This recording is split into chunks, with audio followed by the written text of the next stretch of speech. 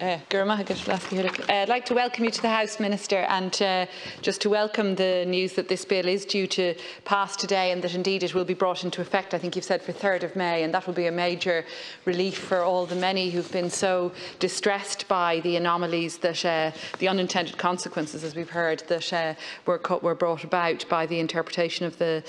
of the Children Act. And I just want to commend Senator McDowell and his colleagues for bringing forward the amending legislation so quickly and so swiftly swiftly, and I know um, the, pr the progress through the Houses, um, I think you said, Senator, that it was somewhat slow, but it has been relatively speedy, and, and, and, uh, and I think that's really welcome. Um, and I, uh, for Labour, I just want to very much welcome it. I do also, Minister, just want to thank you more generally for your engagement with, not just with Senator McDowell on this bill, but with uh, many of us in opposition on different private members' bills. I think that's been a real strength, if I may say, of the, uh, of the legislative process over recent months, and I thank you for your engagement with us in this House on, in the Labour group on the Born Here, Belong Here campaign and reform of citizenship law. And I also thank you for your engagement with my colleague Deputy Brendan Howlin on his um, Harassment, Harmful Communications and Related Offences Act of 2020, or COCO's law, which we were also glad to see come into effect.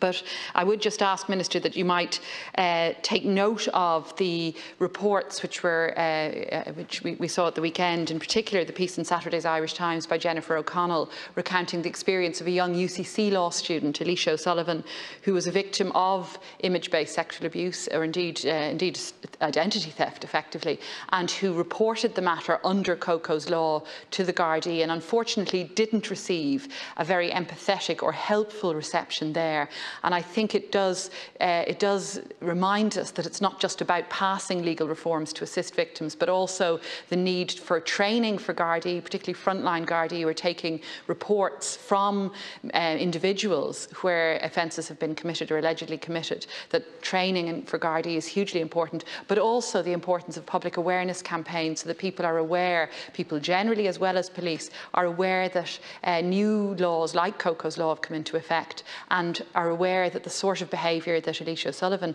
uh, had to, had to uh, bring to the guards' attention, that that behaviour is a criminal offence. And, uh, you know, the report in the paper did recount that, in fact, the social media host, which was Instagram, reacted very swiftly there, but of course that's not always the case. And clearly, where criminal offences of this magnitude are, are, uh, are involved, the guards do need to take the matter much more seriously than they appear to have done in that. So I would ask, Minister, that uh, while we very much welcome the passage of this piece uh, of legislation and very much welcomed COCO's law, that we would look at a public awareness campaign around COCO's law and at training for Gardaí.